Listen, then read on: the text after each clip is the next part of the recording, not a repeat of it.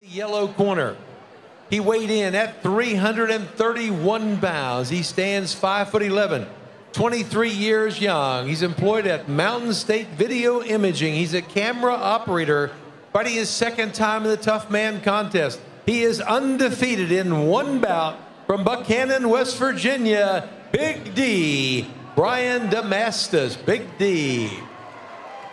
His opponent, weighed in at 311 pounds. He is 6'6, 23 years old. He's a construction worker fighting his first tough man contest. RJ, the Hammer Harris, the Hammer.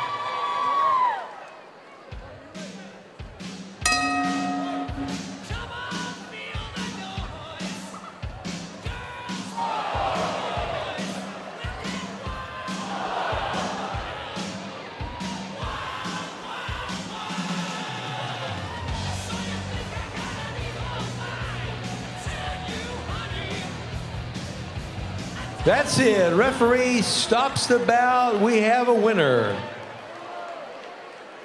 Where did everybody go? The winner, R.J. Harris, the Hammer. He'll be back tomorrow night.